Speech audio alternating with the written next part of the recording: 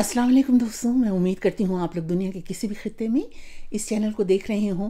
इन खैरियत से होंगे और आप लोगों की आरा भी मुझे मिल रही हैं। बहुत शुक्रिया।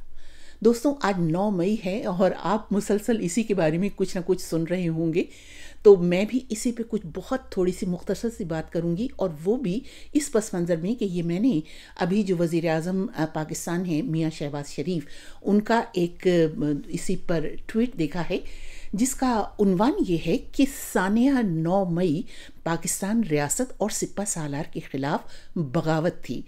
ये उनका ट्वीट था। इसी के बारे में कुछ थोड़ी सी बात आप लोगों से करूँगी कि मुझे ये समझ में नहीं आता कि ये मुसलसल बगावत का बयानिया क्यों चलाया जा रहा है।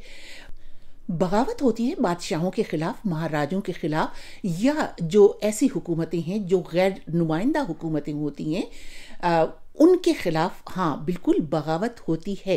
लेकिन किसी रियासत या किसी सिपा सालार के खिलाफ बगावत का क्या मतलब है? कभी सोचा आप लोगों ने ये लफ्ज़ इस्तेमाल करते हुए कि अगर ये बगावत कामयाब हो जाए तो इसका क्या मतलब है? क्या वो जो चंद सौ निहत्ते शहरी हैं, वो जो लाखों की मुसल्ह अफवाज हैं, उनको जेर कर सकते हैं? सोचिए। क्योंकि अगर ये बगावत कामयाब हो तो फिर इसका यही मतलब है। लेकिन ये एक बिल्कुल ही गैर मनतकी नतीजा होगा, जिसके बारे में सोचा भी नहीं जा सकता। पाकिस्तान एक जमहूरी मुल्क है। देखिए, तहरीक अदम एतमाद जिस तरह से लाई गई, वो बेशक वो तरीक़ा जो था, वो बहुत उसके बारे में शकूक व शुभात मौजूद हैं, क्योंकि जो पाकिस्तान की तारीख़ है, वो ये बताती है कि जो छोटी जमातें हैं, जमहूरी जमातें हैं, उनकी वफादारियाँ किस तरह से डंडे के ज़ोर पर तब्दील करवाई जाती हैं। इसलिए जब वो तहरीक अदम एतमाद तैयार हो रही थी, अपनी तैयारी के मराहल में थी तो वो बिल्कुल गैर जमहूरी हथकंडे थे। लेकिन ख़ुद ये तहरीक अदम एतमाद एक जमहूरी तरीक़ा है और फिर इस जमहूरी तरीक़े से हुकूमत गिराई गई और फिर एक जमहूरीत में ही दूसरी हुकूमत को लाने का एक और तरीक़ा भी है कि जब ये हुकूमत गिरा दी गई पीटीआई की, इमरान खान की हुकूमत तो हुकूमत से गिरने के बाद उनका तो एक ही मुतालबा रहा है कि मुल्क में असर नौ इंतबात करवा दिए जाएँ। तो जमहूरी मुल्कों में तरीक़ाकार ये होता है कि अवाम मुजाहरे करते हैं, अवाम सड़कों पर आते हैं, ताकि जो हुकूमत, मौजूदा हुकूमत है, वो असर नौ इंतबात करवाए और अगर अवाम उसे ही वोट दें तो वो आ जाए हुकूमत में, वरना फिर दूसरी हुकूमत, उनकी मर्ज़ी की हुकूमत आए। लेकिन इंतबात नहीं करवाए गए। यहाँ तक कि दो बड़े सूबों की हुकूमतें यानी सूबाई हुकूमतें, उनको भी तहलील कर दिया गया सिर्फ़ इसीलिए कि असर नौ इंतबात करवा दिए जाएँ। लेकिन दो बरस तक इंतबात नहीं करवाए गए। यहाँ तक कि दोनों सूबों में गैर आइनी हुकूमतें काम करती रहीं, क्योंकि पाकिस्तान के आइनी और कानूनी तरीक़ेकार के मुताबिक जो निगरा हुकूमतें हैं, वो तीन माह से ज़्यादा नहीं रह सकती। और फिर दूसरा अहम नुकता यह है कि 9 मई के वाक़े के बारे में बहुत ज़्यादा इबाम और शकूक व शुभात किस वक्त पैदा हुए? ये तब पैदा हुए जब पहले तो ये नज़र आया कि ये जो बहुत ज़्यादा सिक्योरिटी के इदारे थे, मिसाल के तौर पर रावलपिंडी में जो गेट नंबर चार जिसको कहा जाता है बहुत मशहूर, जहाँ पर मुसल्ला अफवाज की दफाते रहें, उसके आधे मील दूर से सिक्योरिटी शुरू हो जाती है, उसके करीब कोई नहीं फटक सकता। इसी तरह लाहौर में जो वो जिना हाउस जो अब पता चला इन हंगामों के बाद के वहाँ पर तो कोर कमांडर साहब रहते थे तो वहाँ भी बहुत सिक्योरिटी होती है और इस तरह से आम लोग उसके करीब नहीं जा सकते। तो पहला शक तो उसी वक्त पैदा हुआ जब इतनी सिक्योरिटी वाले मकाम पर सिक्योरिटी बिल्कुल नज़र ही नहीं आई।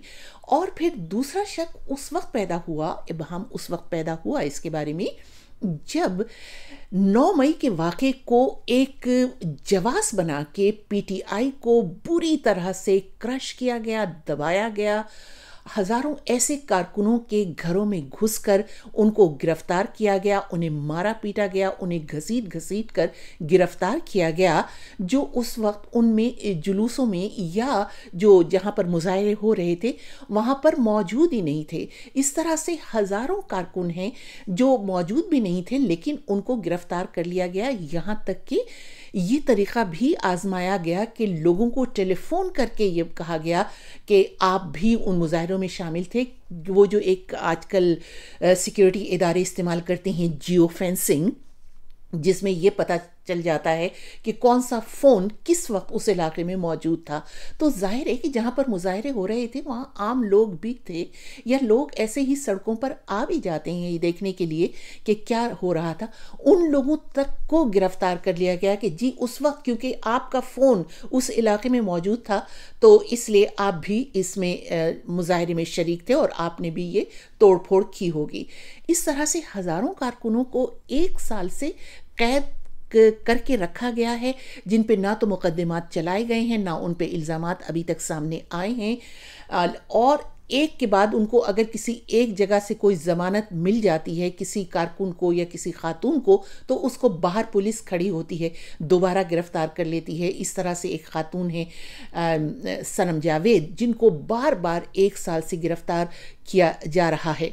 तो इस तरह से जो अमल है हुकूमत का या एजेंसियों का या सिक्योरिटी इदारों का, उनके इस इकदाम से 9 मई के वाक़े के बारे में बहुत ज़्यादा शकूक व शुभात हैं कि आया इसमें वाकई ही पीटीआई के कारकुन ही शरीक थे या इसमें कुछ और अवामिल कुछ और अनासर इसमें शामिल हो गए थे, क्योंकि लोगों ने इस कस्म की भी वीडियोज़ जारी की हैं कि पुलिस की गाड़ियों से सिविल कपड़ों में लोग उतरे और उन्होंने जाकर फिर मारा पीटा या जो आग वाग लगानी थी वो लगाई। इस, हालाँकि ये जो इस कस्म की जो वीडियोस होती हैं आप उनके बारे में यकीन के साथ कुछ नहीं कह सकते। इसीलिए अदालतें ये जो इलेक्ट्रॉनिक मीडिया की जो शवाहिद हैं, उनको तस्लीम नहीं करती।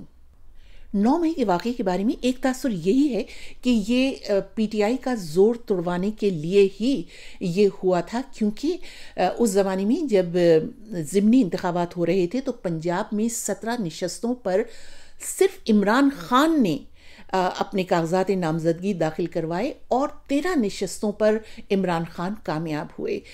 ये सब देखते हुए पीटीआई का जो ज़ोर था उसको तोड़वाने की कोशिश की जाती रही। हालाँकि जो दो सूबाई दो सूबे थे, यानी पंजाब और खैबर पख्तूनख्वा, उसके बारे में सुप्रीम कोर्ट ने ये अहकाम भी जारी किए थे कि जहाँ पर हुकूमतें नहीं हैं, वहाँ पर फौरी इंतबात करवा दिए जाएँ, क्योंकि आइन के मुताबिक नबे दिन के अंदर इंतबात करवाने होते हैं। लेकिन आइन क्या है, कानून क्या है, इसकी किसी ने परवाह ही नहीं की और इंतबात में मुसलसल ताखीर की जाती रही। यहाँ तक कि दो बरस गुजर गए। बहरहाल, ये बिल्कुल तय है, ये एक मुसलमा उसूल है कि किसी भी मुल्क में फ़ौज और आवाम को आमने सामने नहीं आना चाहिए। इसके लिए ज़रूरी है कि वो वजूहत ख़त्म कीजिए जो 9 मई जैसे वाक़ात का सबब बन सकते हैं।